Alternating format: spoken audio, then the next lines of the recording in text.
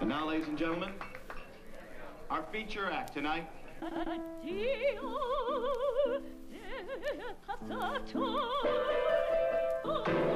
Stop! Stop! The first thing you have to do is get that voice in shape. Now. Now. Now. Now.